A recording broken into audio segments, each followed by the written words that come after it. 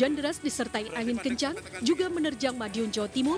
Akibatnya puluhan rumah rusak dan sejumlah pohon tumbang di atas rel sehingga membuat kereta api harus berhenti. Menurut warga, angin kencang puting beliung yang melanda wilayahnya berlangsung singkat dan mengerikan. Kuatnya hembusan angin yang disertai hujan deras dan beberapa butiran es membuat warga mencari lokasi yang aman. Tidak ada korban jiwa dalam peristiwa ini, namun total kerugian mencapai puluhan juta rupiah. Dari Madiun, Arif Wahyu Effendi, iNews melaporkan.